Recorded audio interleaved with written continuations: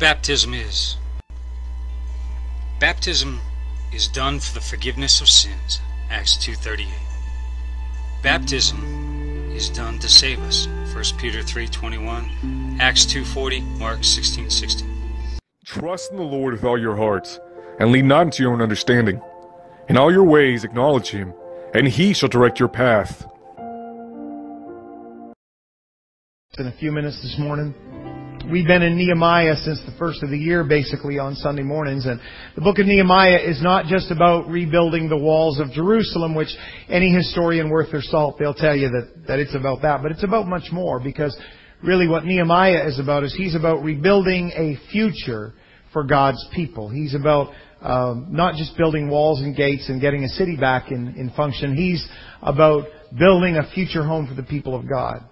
And we've mentioned it, but just for perspective, uh, if you're joining us uh, this morning, Jerusalem had been vacated by uh, the Israelites wholesale. They had gone into captivity.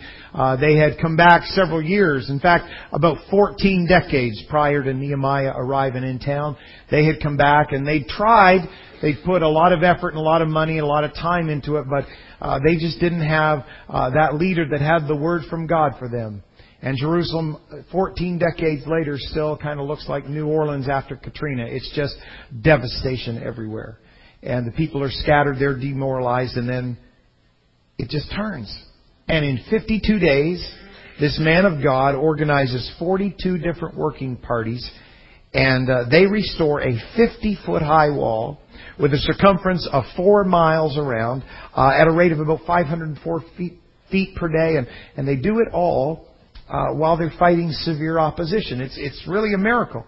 And the reason they were able to accomplish in only 52 days what nobody else had been able to accomplish in, in 140 years was because God worked with them. They prayed, but when they got done praying, they acted. And you know what? Depending on our nature, we kind of, in our spiritual lives, we gravitate to one place or the other. Uh, Pastor Jack mentioned Mary and, and Martha, I think last night in prayer service. You know, we, we did the Martha thing yesterday morning. We all got here and we all picked up paintbrushes and utility knives and hammers and, and mops and brooms and shovels and whatever and we did that kind of work and that's very important because the church doesn't survive without that kind of work. But then last night we gathered together and uh, we had prayer meeting and that's the Mary kind of work uh, sitting at the feet of Jesus and God speaking to us. And so these people had that. They prayed and they acted. They did both. And that's why God worked with them. Now, Nehemiah, he had uh, three enemies in his quest to rebuild Jerusalem, and we've talked about these guys before. They are um, um, kind of uh, the, the, the opposition in a major part to uh, Nehemiah. And the first one is Sanballat. Everyone say Sanballat.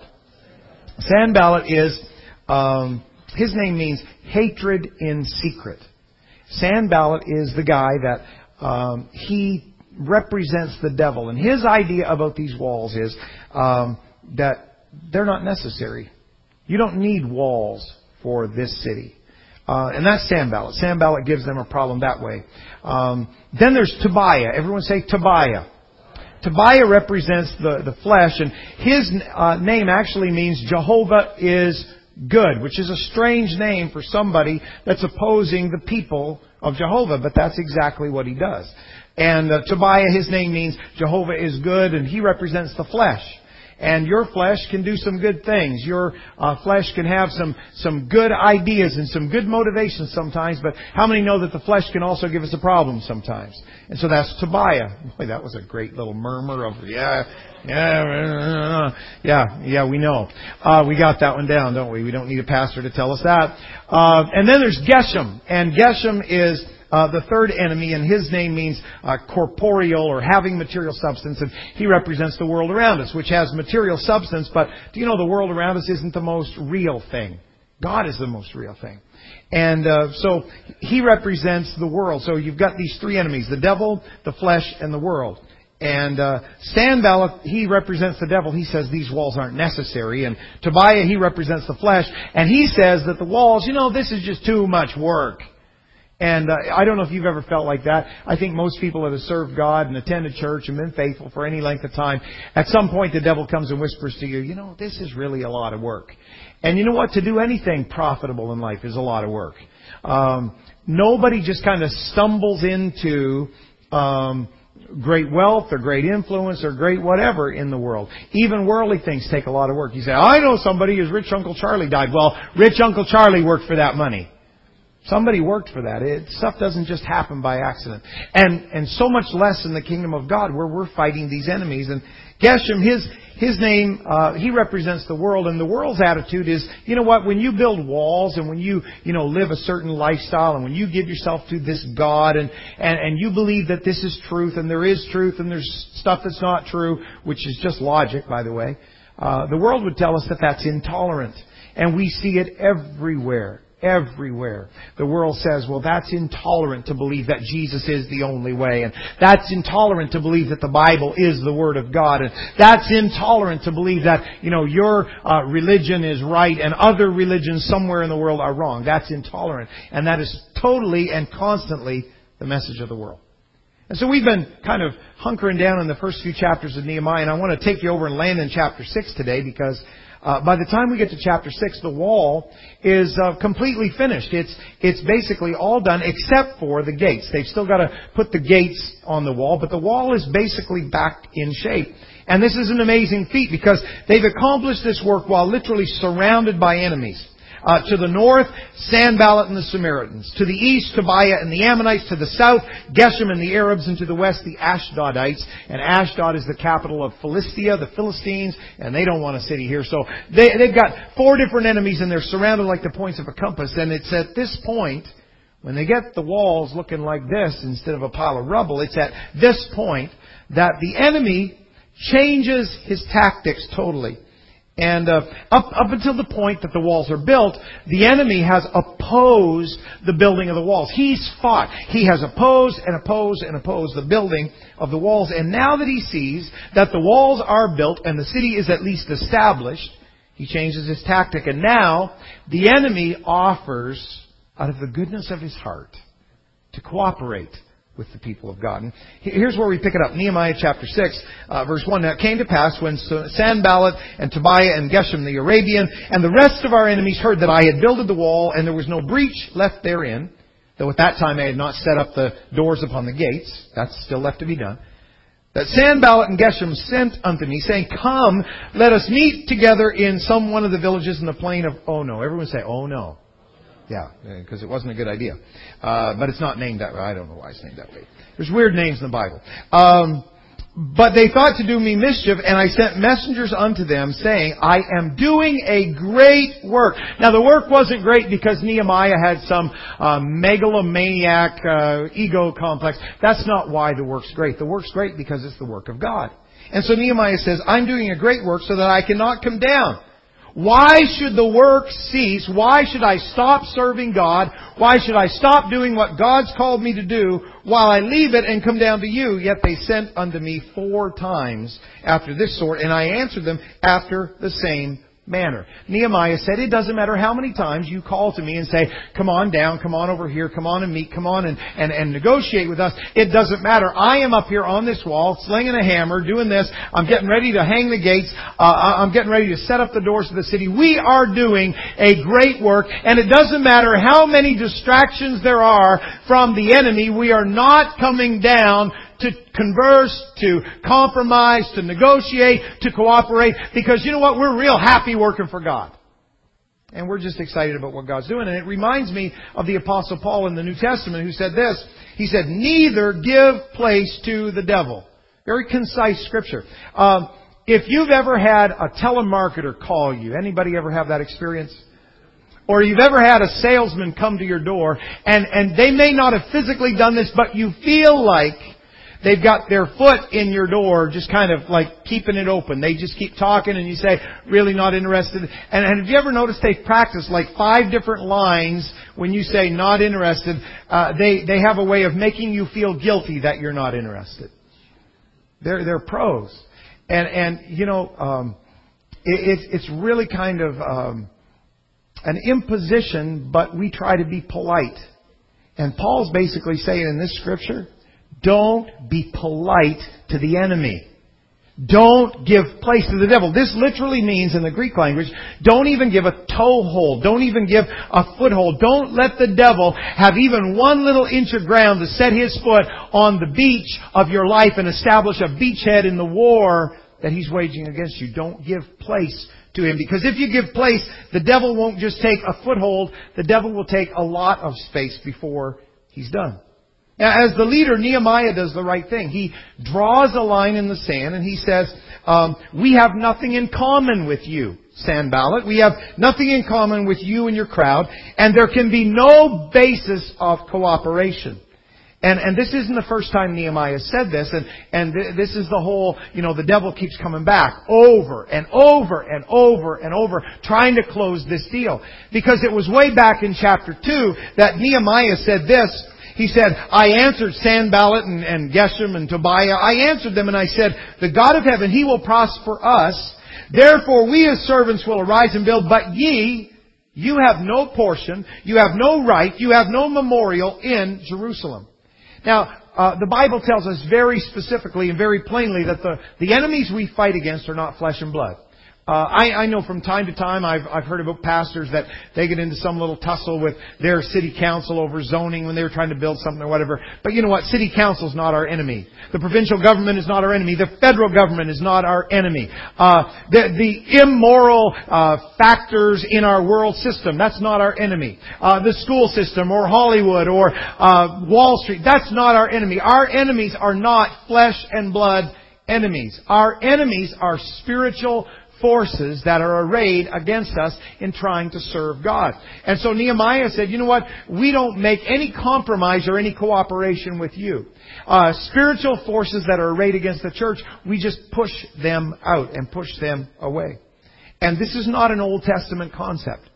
In, fact, a lot of people have this kind of uh, false idea that, well, the Old Testament of the Bible, uh, the part that was dealing with the Jews in Israel, and they had battles, and God says, stamp out your enemies and, and don't have anything to do with them. You know, that's the strict part of the Bible. But when we get to the New Testament, uh, that's the day of grace, and that's the day when God's, you know, offering forgiveness. And so the New Testament is kind of where we get off easy, and where we get off light, and God forgives, and He's our big buddy in the sky, and and you know, He wouldn't do anything to hurt us, and He loves us just the way we are, and, and whatever. And they've got that false idea. And that's exactly opposite of the way it really is. A couple of examples come to mind. In the Old Testament, the Bible says, uh, thou shalt not kill. That's a commandment. It's one of the Ten Commandments. You know what the New Testament says? The easy time? The easy place? It says, if you hate your brother without a cause, if you hate your brother in your heart, if you harbor secret animosity and resentment toward your brother, it's as if you killed him. So you're not only responsible in the New Testament for your actions, you're responsible for your attitudes. Ooh. Now, which is a higher law to come up to? Old Testament law or New Testament grace? And in the Old Testament, here's another example. The Old Testament says don't commit adultery. Don't physically go and commit a sexual sin outside of marriage. Don't physically co- commit adultery. In the New Testament it says, if you look on someone to lust after them, you've already committed adultery with them in your heart. You don't have to go to the bedroom. You've already committed adultery in your heart. Now, which is a higher law to measure up to? Old Testament law or New Testament grace? The, the dispensation of grace, the New Testament, doesn't let us off easy. In fact, the laws are stricter. They're more to deal with our internal spirit, so we can't fake God out. God really knows. He really looks. He really cares what's going on in your heart. And that's the New Testament. And so I don't know if this happens to you, but it happens to me every once in a while. I think like, good gravy.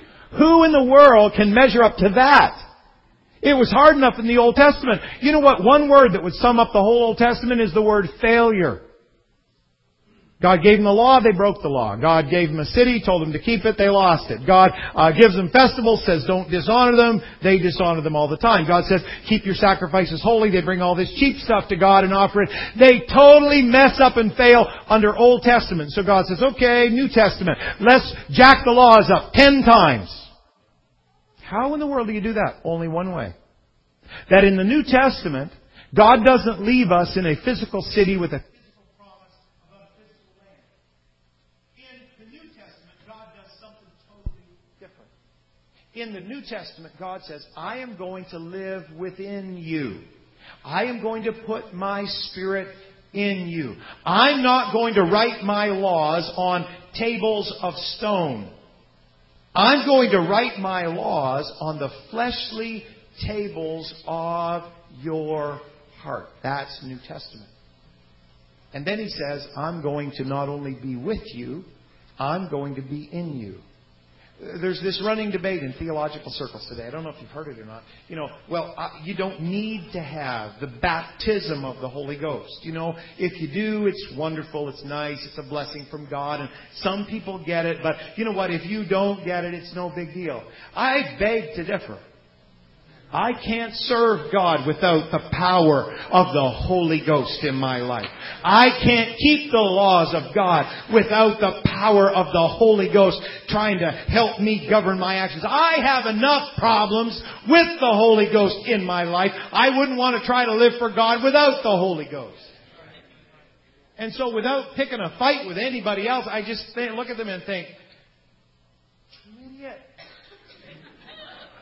What in the world do you think? Saying, I don't need God.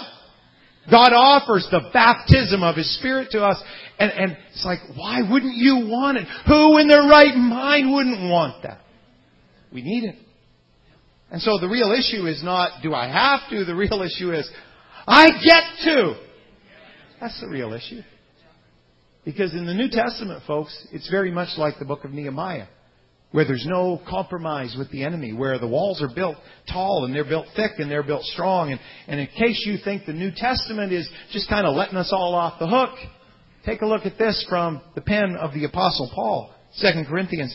Be ye not unequally yoked together with unbelievers, for what fellowship has righteousness with unrighteousness? They don't mix. And what communion has light with darkness? They don't mix.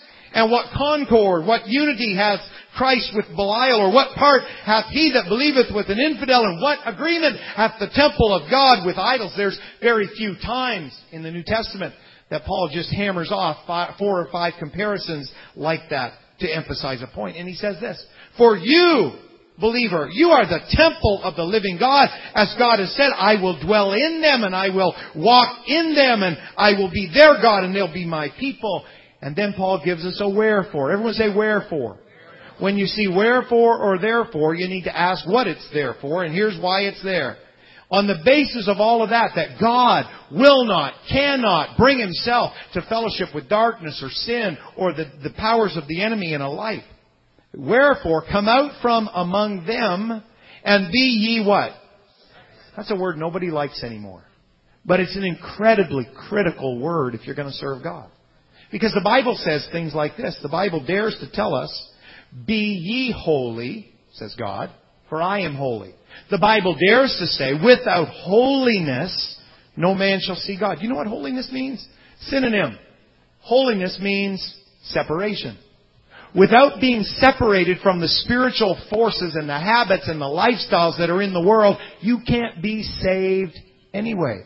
Salvation or holiness means separation. God has always wanted a people that were peculiar. In the Old Testament, He called them peculiar. Guess what He calls us in the New Testament? Peculiar. Look at your neighbor, say, you're peculiar. And you can really mean it. It's a theological term. Come on, help me out here. Look at your neighbor, say, you're peculiar. If somebody's not cooperating, oh, never mind, never mind. Wherefore, come out from among them, be ye separate, saith the Lord, and touch not the unclean thing, and then I'll receive you and I'll be a father unto you, and you shall be my sons and daughters, saith the Lord Almighty. Having therefore these promises, dearly beloved, Let us cleanse ourselves from all filthiness of the flesh, outward life, and spirit, inward life, perfecting holiness or separation in the fear of God. Now, when pastors talk about this stuff, everybody kind of goes,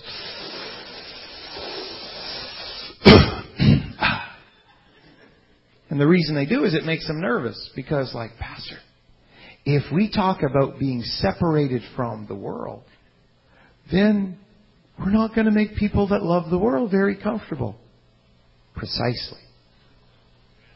Because what we really need in wanting to serve God is not people that are have an affinity with the world, have a friendship with the world. The Bible says friendship with the world is enmity with God.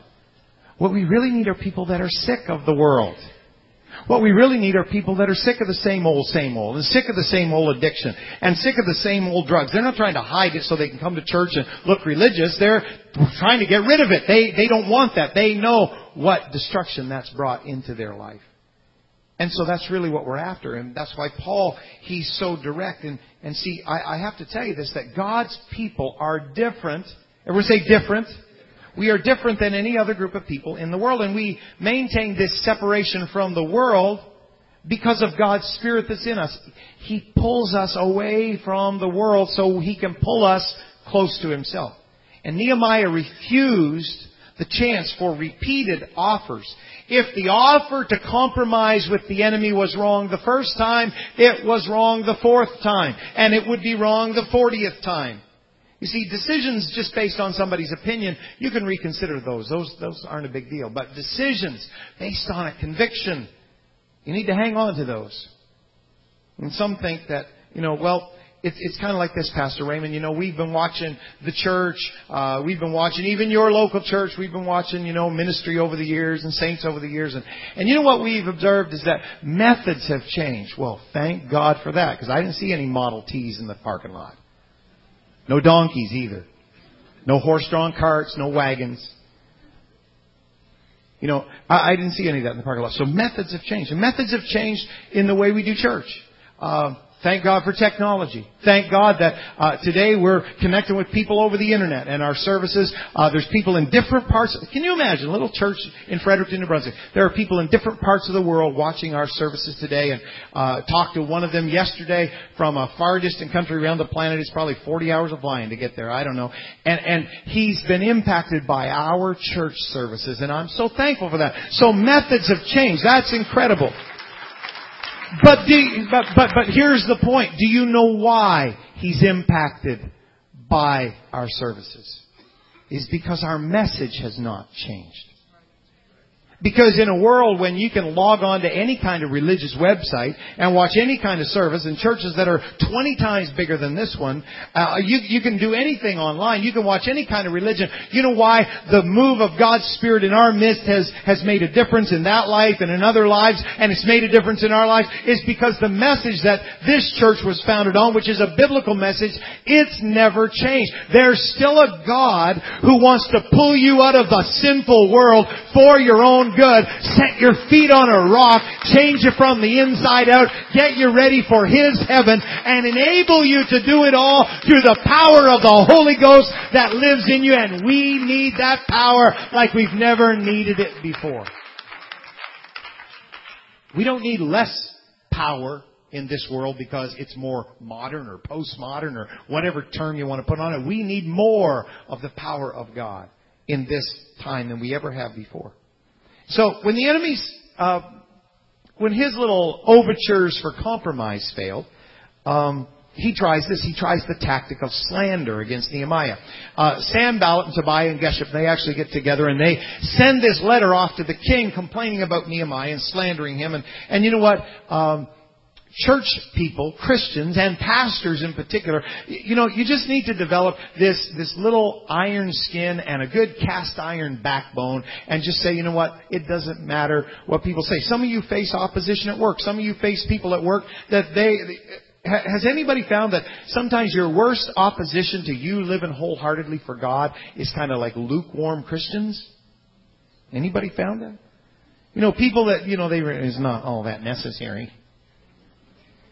They are your worst opposition because you think they're on your team. They're not on your team. They're caught somewhere in la la land between the world and the church. They don't know. Whatever way the wind blows, that's where they are, you know. If it's more popular to belong to the world on Tuesday, they're there. And if it's more popular to be a Christian on Sunday, they're there. But they they just really swing back and forth.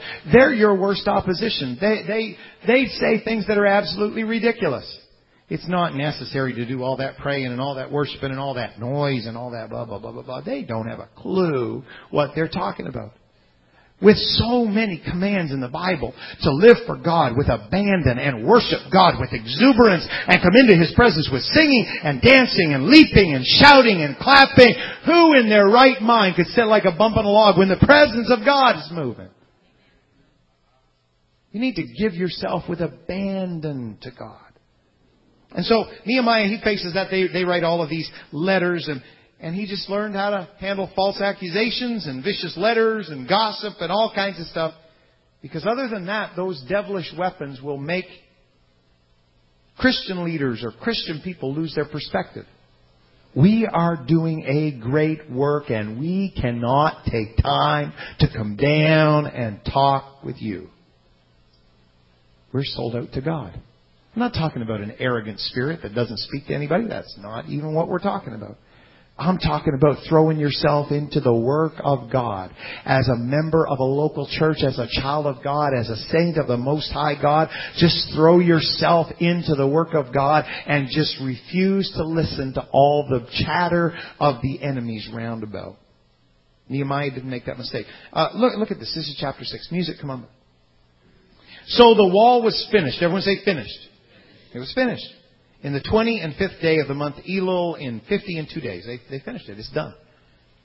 And the enemy, he morphs again. And it came to pass when all our enemies heard thereof and all the heathen that were round about us saw these things, they were much, very much cast down in their own eyes. For they then perceived that this work was wrought of our God. It took a while to get through. It took a while to get done. It took a while to get finished. But when it was all done, nobody was sitting around saying, look what Nehemiah did. Nobody was sitting around saying, look what the 52 companies did. Nobody was sitting around saying, look what the Jews did. People were sitting around saying, God did this. God spoke. He intervened directly in the service here on Wednesday night. And He spoke to us so powerfully. And Pastor Jack read you part of that prophecy this morning. Amazing what God is doing. And when it all gets done, and by the end of this year, we're sitting in a New Year's Eve service and we're showing pictures of all of the people that have been baptized and all the services where people receive the Holy Ghost and the new families that are part of our church and the families that came in through the fireproof outreach and the young people that were touched by Youth Explosion and the people that got the Holy Ghost at the camp meeting that we'll host this summer and the people that, you know, they came in through a Bible study and the people that they didn't know if they could serve God but six months later they're still here and they're in watch night on December 31st, 2009. Nobody's going to say, well, the pastors did that or the saints did that or this group did that or that ministry did that. You know what we're all going to be sitting around saying at the end of this year, after God gives us an incredible year of harvest and ingathering, we're going to be sitting around saying, look what God did this year.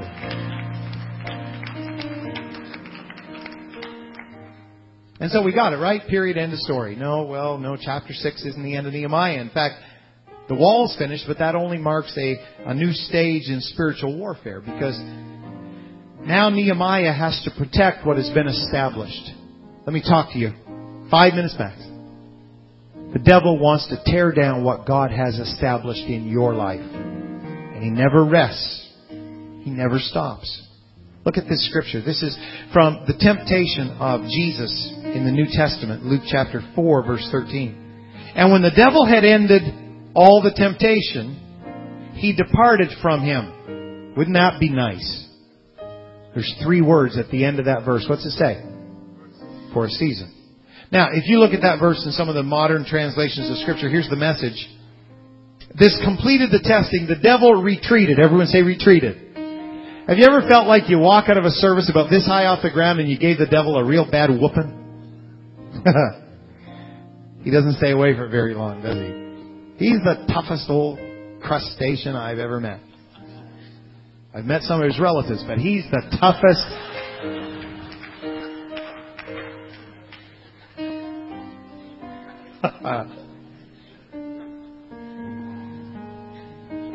You've heard about the guy that the devil kept giving him a hard time. He said, Look, you might as well leave me alone. I married your sister.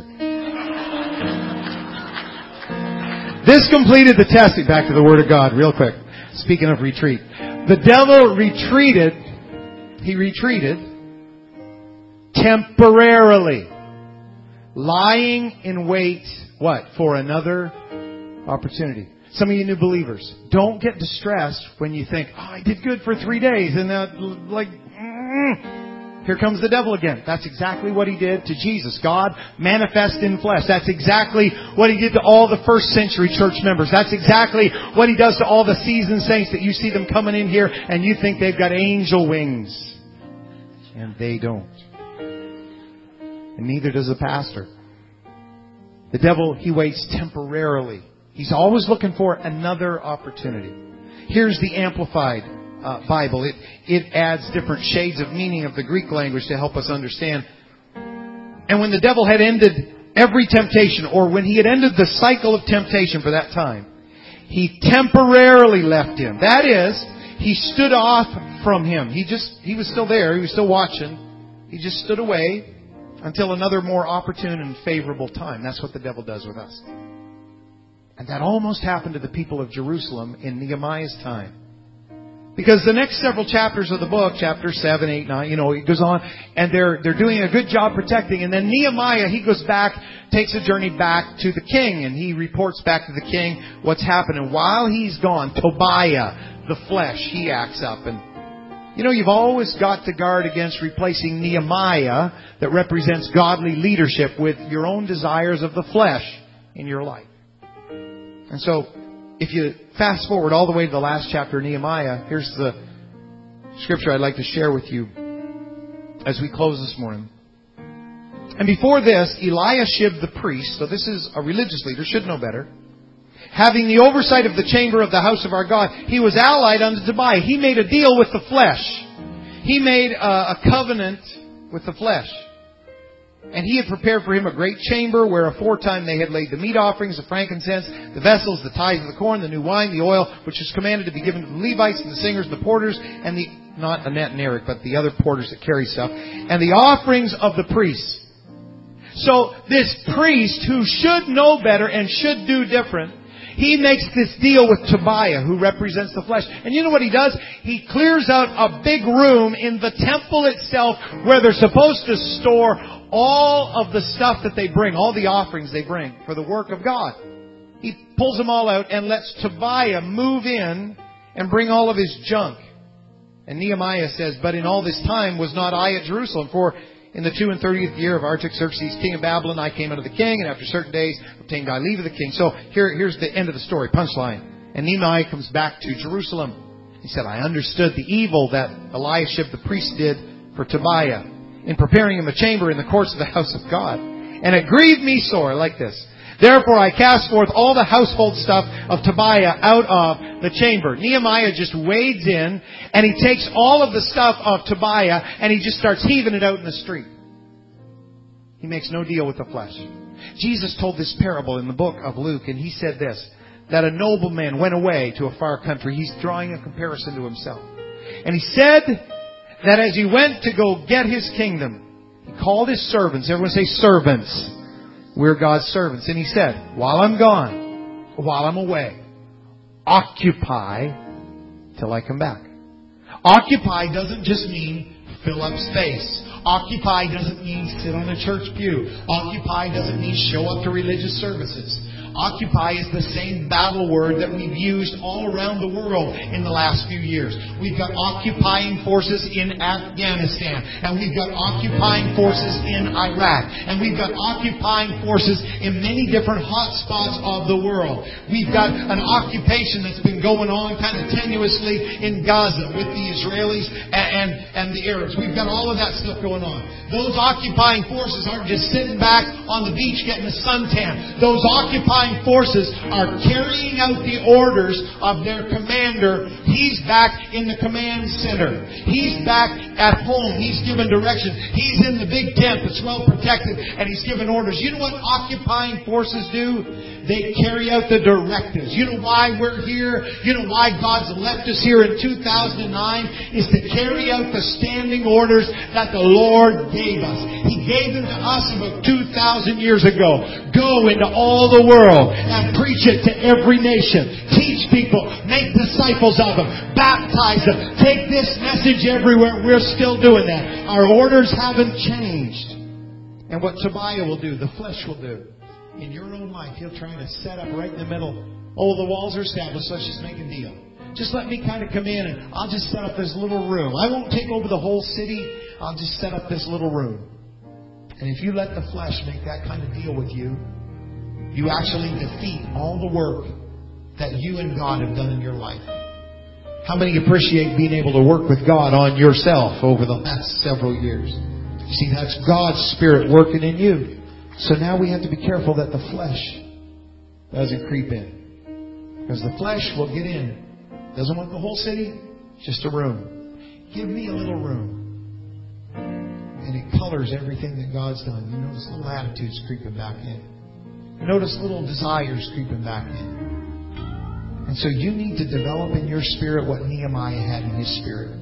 That any time the flesh steps in, any time the flesh tries to re-exert itself and re-emphasize itself and re-dominate. Anytime that happens, you need to develop the spirit of Nehemiah and just wade into your own life and just pitch all of that stuff out in the street. No mercy. No mercy. Seems a funny place to close the book of Nehemiah, I gotta tell you. If Nehemiah had been writing this as a tribute to himself, he would have closed at the building of the walls the finishing of the city. He wouldn't have given us this little PS, but God wanted to warn us of something. That the devil sees every victory that you win as just a temporary setback for him. So he's always on the lookout to gain a foothold. Paul said, neither give place to the devil. I don't know what area that directs itself to in your life. I don't know what that means to you. I just know it's very, very important. Can I get you to lift your hands right now and just close your eyes and let God cement His Word into your heart? Somebody you're struggling with, well, why? Why does God demand that? Or why does God ask for that? Or why does God want me to do that? And the answer is God's building His kingdom in your life. The flesh would like to get in. Just one little corner. I'll do everything else, God, but not that one. I'll, I'll, obey everything else, but not that. That's my little corner. That's my little room. That's where I've let something come in and just set up camp. And it's so important that we give that back to God. Would you stand with me right now in the house of God? I'm not sure how we're going to do this, so we need to just pray one more time. But I'm going to ask you at least to make this decision in your life that I'm going to give that room, that corner, that area, I'm going to give it to God this morning. Can I get you one more time, Church of the Living God, to just lift up your hands in God's presence? Just lift up your hands. You say, God won a great victory in my life. Yes, He did. God's built a great thing in my life. Yes, He has. I'm so amazed at what God has done. That's incredible. But God would like to just warn you, give you a little PS to the story and say, be careful that your own flesh doesn't creep back in and say, well, it's time to relax. It's time to just sit back. It's time to just not be too careful. Everything's good. As soon as you do that, he starts to have influence. So God's really asking you this morning, could you give me that one last little room, that one last little area where you've said in your own mind, I don't think I can ever give that up. I don't think I can ever do that. I don't think I can ever make that uh, a deal with God. God's asking for that this morning. He's exactly that bold. Lord Jesus, I thank you for your word. Thank you for how honest it is. Thank you for how direct it is. God, I even thank you for the times it makes us a little uncomfortable. Because God, your purpose for us is not just to have us be religious people who have our act together and we fake everybody out. But your purpose for us is to really do a work from the inside out. I thank you, God, for the strength of the passage that we read from this morning. I thank you for Nehemiah's example. And I thank you for the honesty that he showed in writing this book under the inspiration of your Spirit. Now, Lord God, I'm praying for some person in here that you have done a great work in their life, but the devil, he's been standing back watching for an opportunity. And he thinks he has it. He thinks he's got that one little room where they've reserved that for them.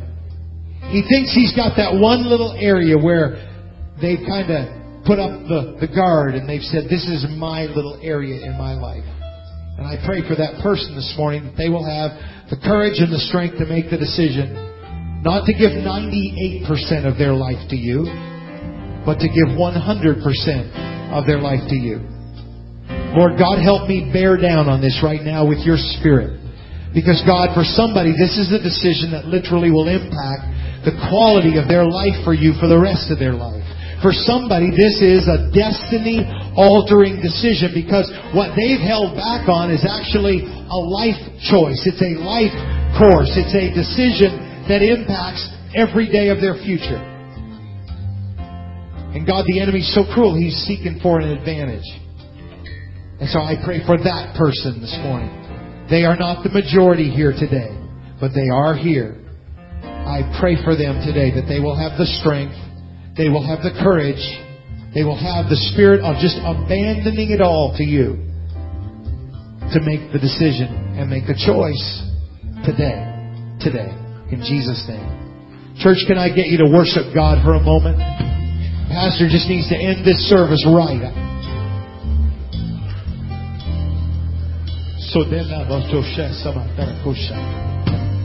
That's good. I just need your help. If you need to slip out, that's fine. We're not trying to hold you, but for the rest of you, if you could just kind of worship God. So parete la chiesa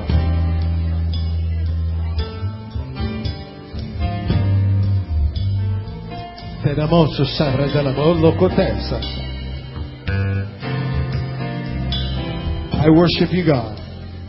I worship you, God. Now, if this great church would just continue to worship, and Pastor really does need you right now, I need you to just close your eyes and just worship. With abandon, just worship, just worship. Because in a climate like that, spiritual strength is created. Now I'm calling for somebody. You love God, God's done such a great thing. He's built His kingdom in your life. And you've been right there for the whole thing. And there's just one little room. And you know exactly what Pastor's talking about this morning because it just kept coming forcibly to your mind all through this message from the moment we mentioned it. And so I want you to make that decision this morning. You're not going to be alone. There's other people have to make a very similar decision, maybe about a totally different area. But as this great church just worships God, I'm going to ask you, thank you. I'm going to ask you to take a step and just walk to the front and say, God, I give it all to you. I've given you 98%, 99%, uh, but, but you know what? That's just not going to do. I give you 100%. I give you that, that, that little area. God, you and I know what it is. God, you and I know what it is. I've given you everything else, but I give you this one.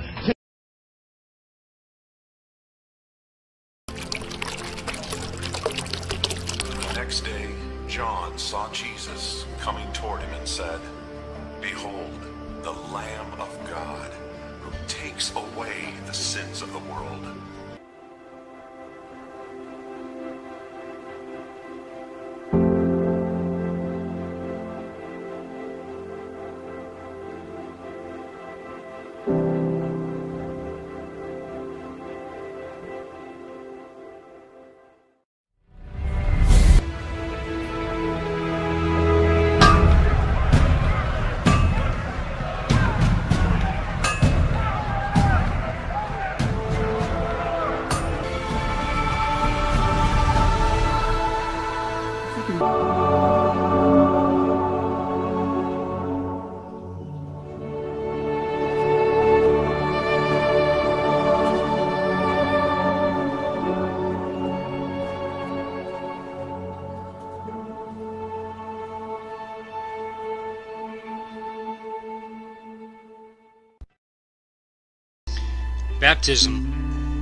is done to wash away our sins. Acts 22 16.